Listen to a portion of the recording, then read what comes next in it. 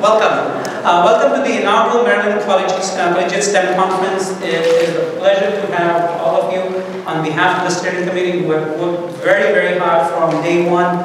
It is a delight to see all of you. and there are quite a few members I do want to acknowledge. So uh, one of my roles today, by the way, I am Raza Khan, one of my roles that I've been told by John Hammond of Montgomery, Montgomery is I have to thank every single one who has worked. So that's going to take me about 48 hours. So I'll here till Sunday. Um, but however, at this point, I do want to acknowledge a few people uh, before we do an official welcome. With the uh, members of the steering committee, and they're not all of them are here, but would you stand for me, please? The steering committee members, please give them a hand.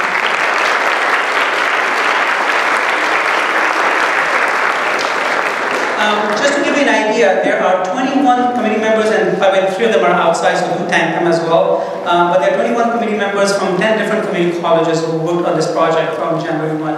Uh, I know the state committee members know this.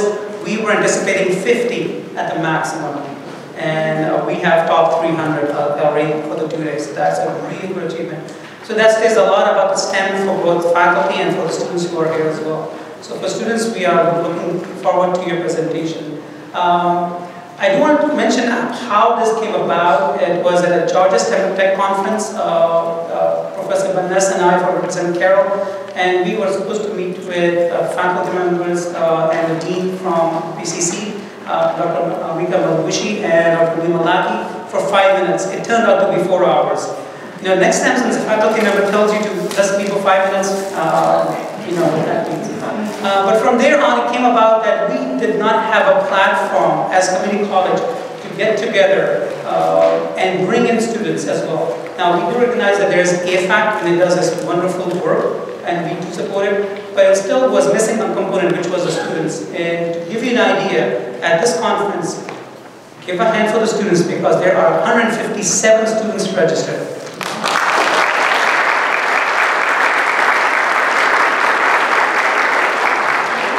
Um, from that catalyst of the discussion that we had, with Dr. Malaki and Marabushi, uh, Dr. Chang of Montgomery and I met, and we brought in uh, members who were interested at the AFAC. Uh, and it came about, and people were so receptive that they, we had faculty, the chairs, and the deans of different colleges come in and said, okay, let's do this. Uh, and to come on a Halloween night, I was saying, I think we should just go down from 50 to maybe 30. Uh, but again, it is uh, unimaginable and shows the passion of STEM for all of us.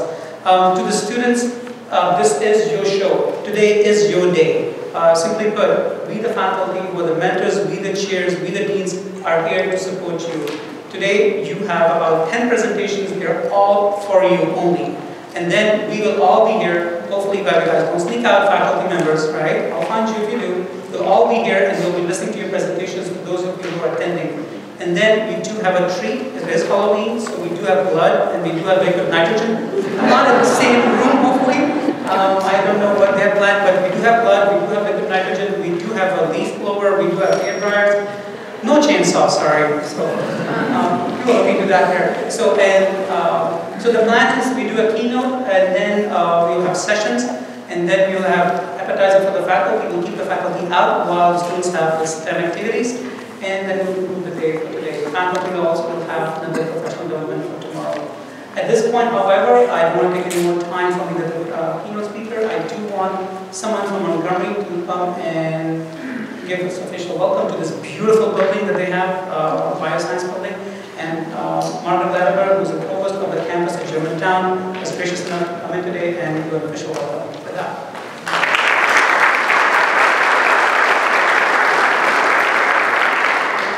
Afternoon. It is an enormous pleasure to welcome all of you to Montgomery College, to the Germantown campus, to this beautiful Bioscience Education Center, which we just opened this fall. You are among the first visitors and the first to use the conference center.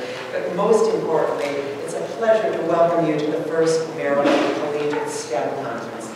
That's the most important activity of today. And having stepped out of the classroom a few years ago to become an administrator, I'm so glad to see that things have not changed. The front row is virtually empty. it makes me feel right at home to have empty seats right up front. Um, I, I want to to the thank yous. You know, if you've ever watched the Oscars, the Academy Awards, these people get up and they give these lengthy speeches, thank you, thank you, thank you, and all people want to know is best picture, who's best actor, who's best actresses. But if you've ever been involved in organizing a major event, you know that it does take a village to pull off a STEM event like this. And I do want to give a shout out, and, and some of you have stood already, but Dr. Chang, who has, is, has left Montgomery College but was able to join us again today. Thank you, Dr. Raza Khan, who just addressed you um, from Carroll Community College, and Maria Bruness. Uh, Dean John Hammond from Montgomery College is slipping, he slipped in the back after having taught a class. Um, and Michael Chase, um, who has graciously provided some uh, funding from the GT STEP grant, which the college has, again, to help bring this off. There are also some sponsors I'd like to thank. Some of you may have already had an opportunity to visit their tables and their setups uh, before you came in as you registered. Um, the HHMI Biointeractive, Pearson, Ludesco, Bone Clones, that's fun. Um, and in addition to taking the village, um, it also takes some funding to have a great event like this. So we are grateful to those who have helped sponsor this event. All of you know the importance of STEM fields, and to this audience I can say you also know the fun of being in a STEM field. So I hope that this is not only a, a, stimulating, intellectually stimulating event, but it is also fun to be with people who share your interests, who share your passions, and that you have an opportunity to really talk to each other. You know, in this age of, of internet and email and all of the ways that we can communicate around the planet at this point, there is still something marvelous about having face-to-face -face opportunities, about having one-to-one -one or two-to-one interactions. And I, I noticed a bunch of you standing at some of the poster sessions. So take advantage of that real face time um, to, to interact with each other. And, and as I said, have, have fun, but also enjoy the stimulation to see what your colleagues, your student colleagues are doing. And that's the most impressive thing I think that's happened here, some of the fabulous work that's being done by students at community colleges. Um, I, I, do, oh, I also, before I introduce the keynote speaker, I do want to invite you to take, wander through the building um, as you have time between sessions or whatever. It is a beautiful facility. Um, our students are very fortunate. Um, some of them are here they can tell you what our old lab facilities look like. And, and so we're thrilled to have this facility open and um, have, be able to host events like this as well as the academic opportunities for our students. And now, since I'm not standing between you and food, so I'm feeling in a somewhat safe position because you've just had lunch, but I am standing between you and your, the keynote address.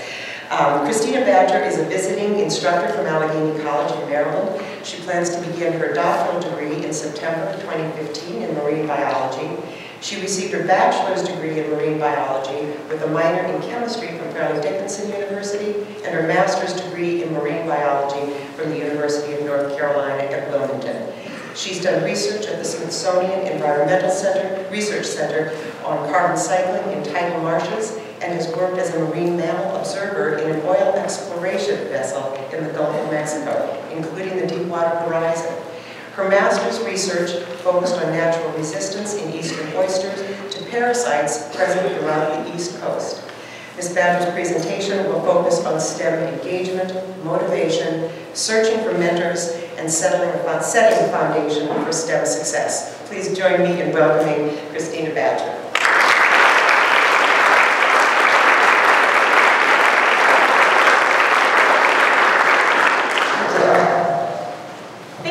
For having me. Um, I'm very excited to be here, and this is a beautiful new building that Montgomery College has. Um,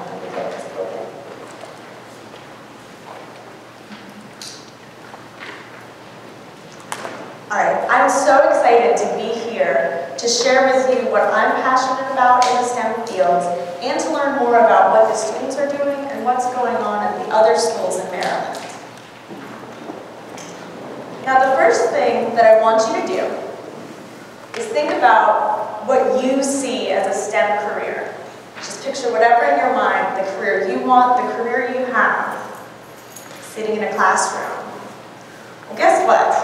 Every single person who's picturing something is correct. The science, technology, engineering, and math fields are comprised everything from software developers, people testing out the latest video games, um, computer programmers, people sitting at home working on a complex math theorem, sequencing DNA, creating the medicines that cure diseases, working on cool apps on your phone. Um, it also comprises things like working in laboratories, sitting at home working at homework, and being out in the field studying how organisms interact with each other, everywhere from Maryland to Antarctica. People with STEM degrees can be found in the newest, most advanced buildings, huge high-tech facilities, and out in the mud collecting oysters and sediment samples. That one's me. Um, so in so many different areas, and with an ever-growing body of knowledge about our bodies, about the planet, the universe, and ways to make life better and to interact better, it obviously takes a huge array of people and personalities and ideas to continue this process. The students and the faculty are here because you guys are all interested in this information. Most of the students are just beginning their journey in the STEM fields. You're taking your first classes at college, you're working in labs for the first time, and I'm mostly going to talk to you.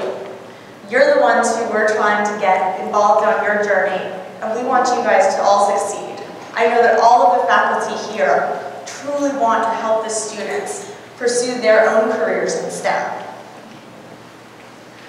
Some of you may be getting ready to go into careers after your two-year degree. Some of you may be transferring to four-year degrees. Some of you may be thinking about going to grad school eventually. Well, I have good news and bad news. So first, the good news. Working in STEM is exciting and challenging and can be so rewarding. And there are a lot of job opportunities, which is something that is very important to consider when embarking on your career. But research and working with students is what I personally like to do. There are lots of jobs in different industries, from tech companies to pharmaceutical companies, healthcare, to being a statistician for a sports franchise. I know there's one campaign right now with GE showing all of the different technology and science jobs that they have.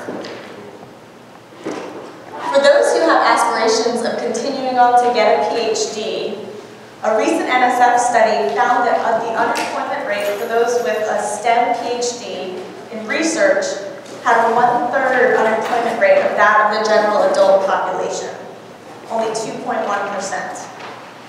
The PhDs that they looked at comprised a huge array, biology, agriculture, environmental science, engineering, the physical sciences, math and statistics, and computer and information sciences. So there are so many jobs in these fields that you'll be able to find. In addition, the growing body of knowledge and the rapid pace of advancement in um, technology has led to the prediction by the, um, the Bureau of Labor Statistics that there will be an increase of 22.8% in software development jobs just over the next seven to eight years. Again, this is mostly due to just how fast technology is advancing and new jobs are being created that didn't exist five to ten years ago. We're also very lucky to be studying in the United States. Industrialized nations have a unique situation. The infrastructure that we have allows there to be links between having an interest in science and being able to learn about it, even at home on your own time. You have opportunities to gain experience, and you have opportunities in education to look at. So now for the bad news.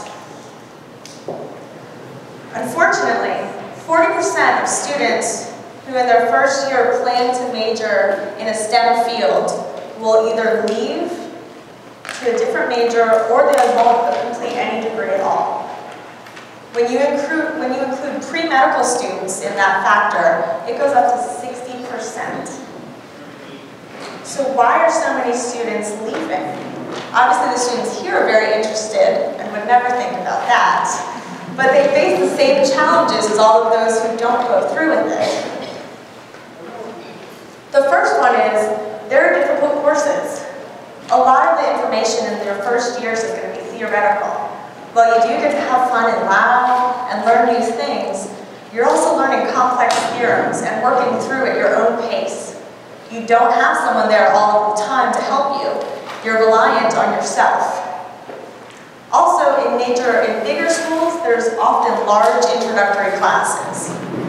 When you have so many students, it can be hard for a student to approach a professor to actually ask for help.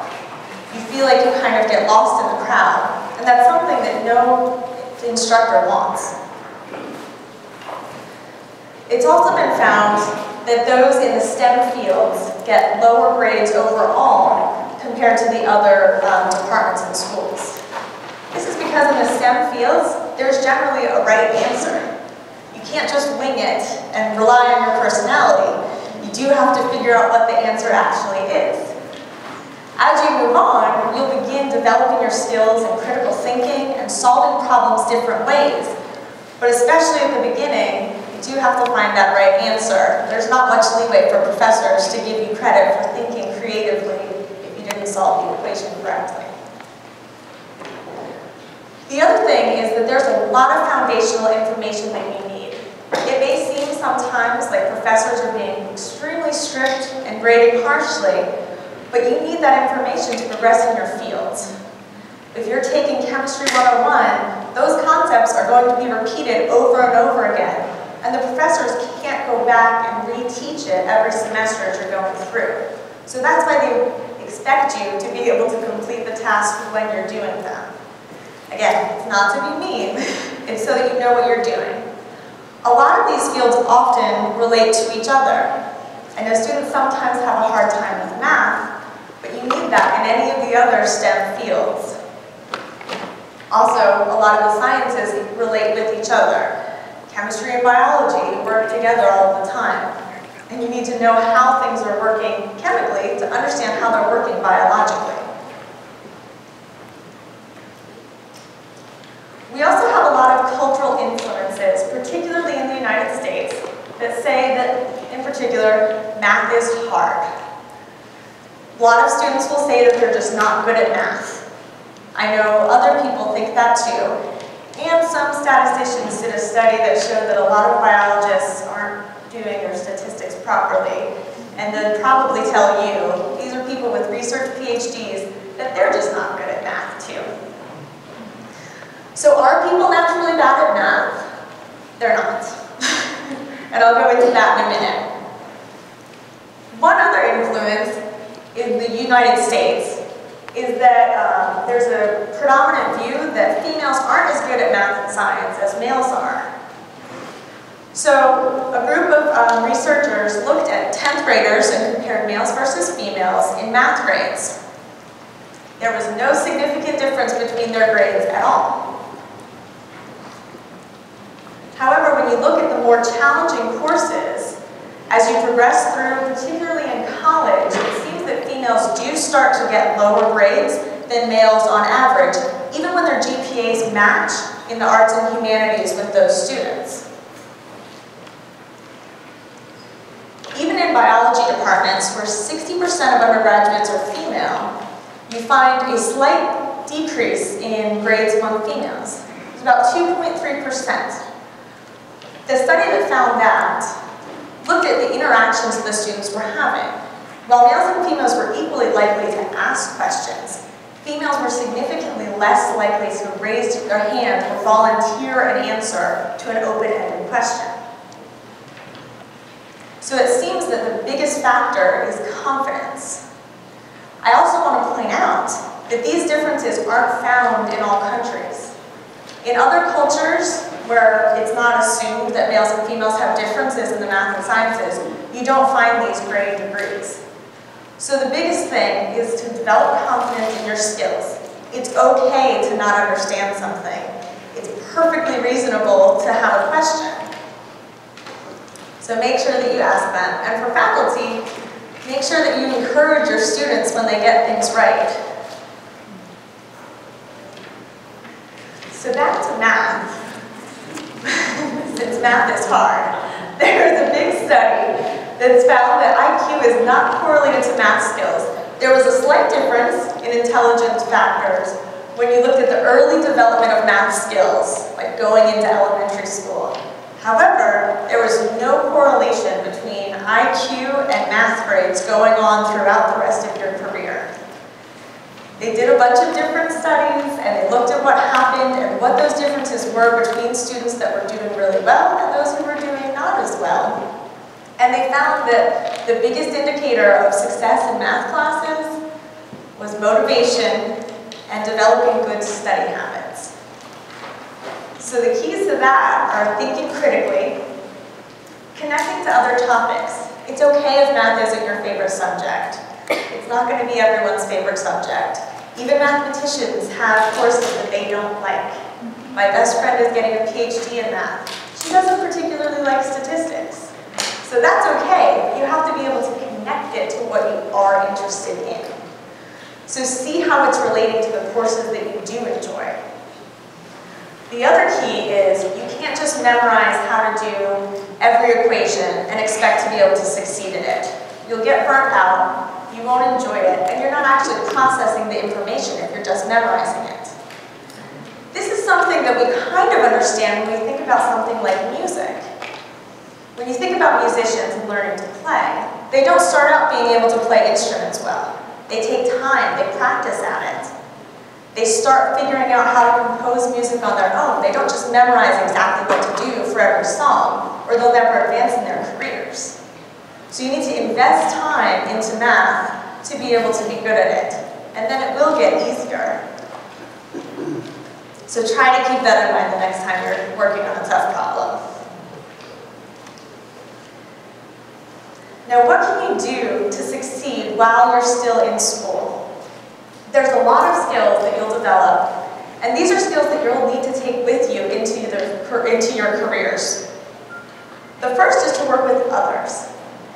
You'll find that different students and your friends are going to be better at some courses than others, and you'll be better at some courses than others. Everyone has different things that interest them and different skill sets. So one of the best things that you can do right now is to form study groups. Even if it's a course that you're doing fairly well in, it's a good idea to work with other students. If you're the one who's stronger in that field, you'll be able to learn and integrate more of that information by explaining it to those who you're working with. And then when you're in a class and you're not doing as well and one of them is doing better, you'll have someone to ask for help. You also need to develop problem-solving skills. Again, you can't rely on just memorizing everything. You can't memorize all of STEM or even all of any science. You're going to always have to look back, look through your notes, look through other research in order to figure out the solution. Try different ways of solving a problem. Go about it from different angles. Take a break. If you're getting overly stressed about something, go for a walk, go do something else, and then come back to it and see if you can't solve it. And again, work with your study groups. Use information from other courses. I can tell you that professors will love it if you comment that, oh hey, this reminds me of something that I learned in this other class. Is that how they work? Are they working the same way? When you synthesize that information, your brain is making new connections to help you remember what you learned in both of those classes. And then always ask for help if you need it. Professors are there to teach you and to instruct you. If you need help, if you can't solve a problem, ask them. They always have office hours. Everyone has email. You can email them questions. Grab them after class if they're there. But don't be afraid to ask for help. Now something that you're going to have to do is learn to recover from failure. This is something that you're going to have to keep with you throughout your career if you're in the STEM fields. I'm not just talking about doing poorly on a test or in a course, but when you're working on something and it doesn't work. If you're in a lab and something breaks, or if you're working on computer coding and it doesn't work the third time you've tried it, you have to go back and figure out what you did. Don't get upset that it didn't work. Anyone who goes into research will learn quickly that when you're trying to do something new, when you're trying to find new information, do something that no one else has ever done, you're not going to get it right the first time. It's easy to see that now, but it's very frustrating when you're trying to design something and it keeps not working. But remember that this is how you create new information. This is how we add to the communal body of knowledge that we have. So start accepting failure now it'll be slightly easier when things don't work later. It's also a good skill to have in life. And above all, while you're in school right now, maintain your focus. Don't get overwhelmed by all of the classes that you're taking. Think about why you're doing it. Remember your goals. Remember what career you're looking for, what you're trying to get into. And that'll help give you that motivation that you need to succeed in these classes. Remember that motivation is one of those key things that help you succeed you don't like a class. Now I'd like to talk about one of the experiences that I've had in the STEM field. Um, I worked as a marine mammal observer on seismic survey vessels in the Gulf of Mexico. So those boats use high pressure air guns to survey the ocean floor to look for oil. They also use those, gold, those air guns on oil rigs to position them so that they're in the correct place. I was on board as a marine biologist to track the species around the boat, see how they were affected, and to make sure that the boats were following the government regulations as to when they had to turn the air guns off due to wildlife. We also tracked migrations of birds and other animals, and it was overall pretty fun. But I did work mostly in the Gulf of Mexico, which you may have heard occasionally has hurricanes. So in September of 2008, Hurricane Ike came through. I was on a boat called the Chico Snapper, which is about 220 foot boat. The bridge was about 35 feet off the water. You can kind of see it up there at the front of the boat. Um, we were in Galveston waiting for the rest of the crew to change before we left. So I flew into Galveston, and once we got on board, we were waiting to get the, the instructions from our shore office. There was a lot of debate between the captains and the shore office, but the shore office really wanted us to try to head east and get up into New Orleans where we would be more protected from the storm. So we set out on September 8th when Hurricane Ike was just below Florida. We were not able to make it to New Orleans. We were stuck about 25 miles offshore. The first thing that happened was we lost the power for our steering.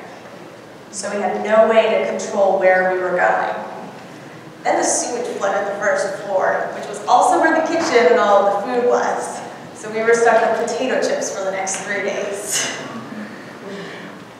Our, unfortunately, trying to fix the sewage, our second engineer dislocated his shoulder and was out of commission. And then when the chief engineer went down to try to fix the situation, he broke his leg due to the heavy seas. So then we were out of engineers. And then we lost the rest of our power. So we had no electricity, no engines, and no steering.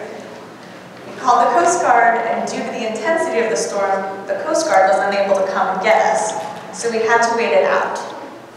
Now, if anyone's been down to the Gulf of Mexico, you may know that in the 20 to 30 miles offshore, there's a lot of old oil rigs that haven't been cleaned up.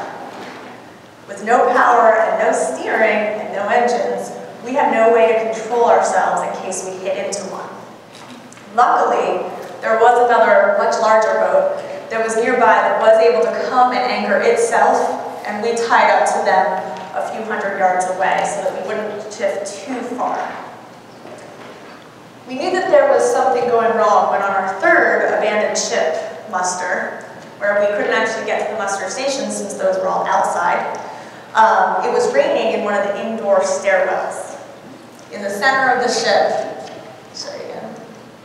In the center of the ship, below the bridge, the interior stair staircase had water running down it.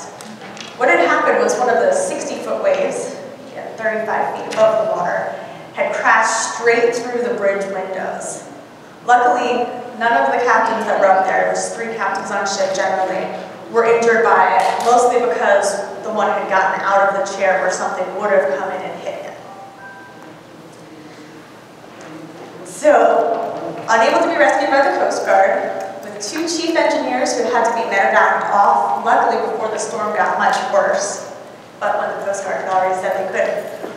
We were all sleeping on life jackets wearing survival suits, and waiting to see if we had to abandon the ship. After three days, we were luckily in the clear. However, the boat was not in good condition. This was our common area where we normally had our computers and satellite phones that we could call people. That's everything that had fallen out that had gotten moved out of that common area. That goes down a full story to the gun deck. We had to clear that off to make space for our beds slash pillows slash life jackets that we were sleeping on. The best part of this story is that by some miracle, even though all of the railings were wiped out and the steel railings that were connected to the ship were at about a 45 to 50 degree angle, the grill managed to stay on board. It lost, somehow, I have no idea how this works, it lost the actual grill part that was inside, so it took part of the oven out, and the freezers, everything had thawed, so we were able to make some hot dogs and hamburgers and things like that. So do keep in mind that depending on what field and career you choose, you may face actual physical challenges in addition to the mental challenges that you'll face. Obviously, my studies have been in a field where I do field work, um, but the other scientists on board the Snapper, the majority of the scientists, were all geologists and geophysicists. Most of their schoolwork had been done on computers and sitting in classrooms. So they were not entirely prepared for that situation either. But in particular, wildlife biologists, foresters, anytime you're performing field studies, you may face actual risks. And you need to um, make sure that you do what you can to minimize those. Um, I personally soon went back to school to get my master's, which I had been planning on doing, but that does give me a little bit more control over where I'm doing my field work and what risks I'm facing. But if you do love adventure, which I do, why I shared this story with you, um, I want you to know that there are plenty of jobs in the STEM field where you can get more than your fill of adventure. However, all of the different STEM fields can be fulfilling and challenging in different ways. Now, how do you go from where you're taking classes now to riding a hurricane? The first step is going to be take advantage of where you are now. All of the community colleges have wonderful libraries and databases that you can use to find out information. If you find something that you hear in class, even if it's just a side note that your professor makes that interests you, take some time to go use the library and use those databases to find out more about that you'll probably find that there's more information that you can possibly synthesize. And you'll start learning about things that we still don't know the answers to. Um, also, as I said before, talk to your professors. Many of the community colleges have smaller class sizes. Take advantage of that. You have a lot of contact with your professors. You may not have that at bigger schools. See what they're interested in, see what they studied, see if you're interested in topics like that, like they are. Ask them, they'll have many insights and they can give you guidelines on where to look next. Find a mentor, okay? Once you find a field that you like, especially if you find a professor that you work well with, see if they'll mentor you. They can help you with coming up with applications, looking for jobs. I know that it can be daunting to think about either transferring schools or applying to jobs where, while you're already so busy with classes. But talking to professors can give you ideas of where to look next. Also, look into the research possibilities at your school. I know that's going to be one of the big topics that we're talking about today. But even though this is probably your first or second year in college, you can start doing research right now. The sooner you start on research, I think, the better. Doesn't matter if you're just looking up literature or you're doing something hands-on in the sciences. Um, you'll be amazed at how much information there is. And again, how much is still unknown. You'll also find that it will probably get you hooked and it's going to give you a focus for why you're learning these things in classes. When you start doing research, You'll realize why they're making you learn all of those other things and courses that you don't care about, and you'll start really seeing how these fields all work together. Use the career service centers that your college has. These people are trained. They know all of the different ins and outs of looking for careers, applying to schools, writing your letters of interest, um, working on your resume. They can really help you with where you want to go and help you figure out a roadmap so that you have some benchmarks for what you want to hit as you're going along. Also, look for internships in the field that interests you. There may be some available at your school, there may be some available at businesses nearby. I know that many students are working and going to school, but if it is possible for you to take some time out, it's very, it's very engaging. I did an um, internship at the Smithsonian Research Center in Edgewater, Maryland when I was an undergraduate, and it was an invaluable experience. I really learned how science worked and what a job in my field looked like. Also see what scholarships are available. Even if you don't think that you have a chance of getting it, apply for it. You'll get experience with writing, you'll get experience with advocating for yourself, and you might get a scholarship out. Now, before I let you go, with visions of all of the amazing things that you're going to accomplish. Um, I do want to point out that there are some side effects to working in the STEM fields. Unlike other fields, you may find that your decision to work in STEM consumes your thoughts most or all of the time. You may start calculating updated statistics for the players on your favorite sports team during games. You may create models for better traffic or how to construct a better bridge while you're sitting in traffic. You may start coming up with ideas for new apps while you're sitting in a waiting room or waiting for class to start. When you hear about a new disease that you haven't heard of or different diseases, you may be distracted by thoughts of the life cycle of the parasite and the infection pattern and how it could be modeled for human populations. You may also find yourself distracted by a new concept that you learn, learn in class and spend hours on a tangent learning about this brand new topic that you have never heard of, even if it's never going to be on the test. You may even find yourself voluntarily working on problems that no one asked you to do. You may find yourself taking study breaks to study new topics. Uh, most insidious of all, you won't care. In fact, it's highly likely that you will try to spread this to other people. Luckily, there's already more information than any individual could possibly learn, and we're adding to it every single day. So any new thing that you can learn or add won't hurt at all.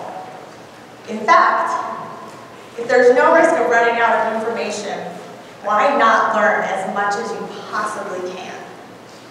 Thank you all for your attention and for having me speak today. I'm so excited to listen to some of the student presentations and hear what you're doing. And thank you again.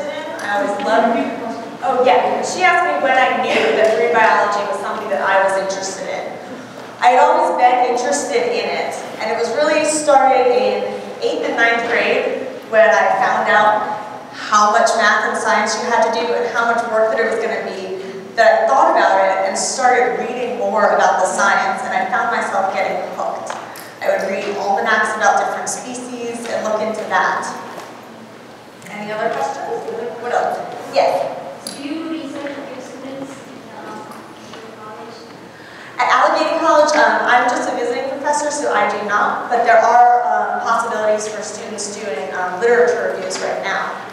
We have one of them here. Any other any other questions? Yes? Did the large boat, like, did they offer you like food? Um, they couldn't get anything over to us, but once it calmed down, they sent over a fast rescue boat filled with um, more cases of water and snacks, and uh, I think they were where we got our funds, for the hot dogs. Any others? Thank you very much.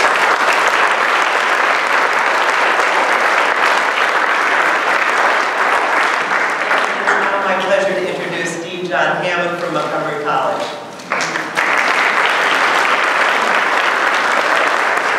I have nothing to deserve applause, right? Well, thank you, right? Right. So, um, I- I'm, I'm actually here to tell you some things that, that, that I hope will generate some, some applause, right? We've got lots of cool things going on this afternoon. I hope you know that after this, we're gonna have our breakout sessions. But before we get started with breakout sessions, there's a couple things I want us to do.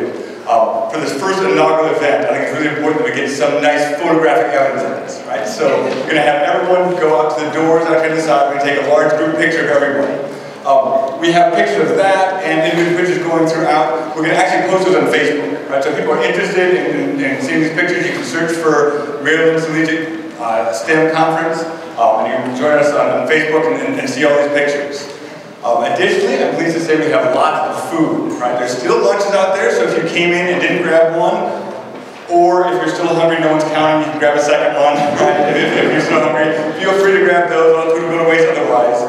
Um, starting here in, in a few minutes, we're going to have snacks in the back of this room as well, so those will be out for the rest of the afternoon. So between sessions, if you want to, you can stop in here for, for uh, cookies and, and cake and, and all that sort of good sweet stuff.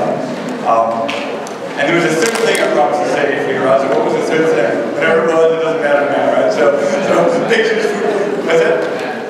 And math and power, absolutely, right? All right, well, have a fantastic afternoon, and I'll, we'll see you all at the sessions.